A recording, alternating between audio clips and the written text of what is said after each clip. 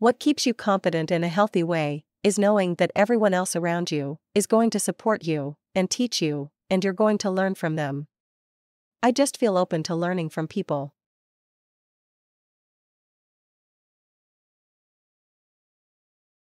I think, every day, you try to soak up as much as you can to learn and understand things better.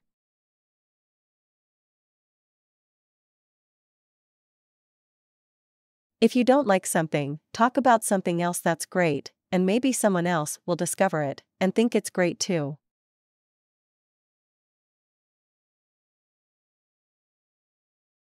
I believe that you are only in control of so much. So, whatever you are not in control of, you can't worry about.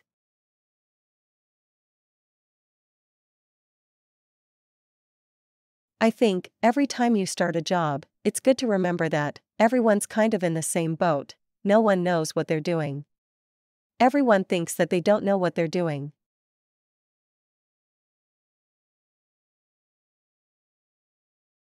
I'm a very social person, and I love being out in the world, and the feeling of not having that is the scariest thing to me.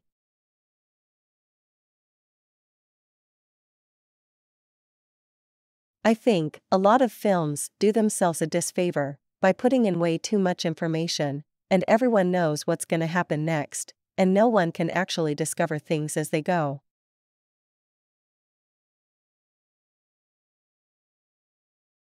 I just need to figure out how to grow without compromising.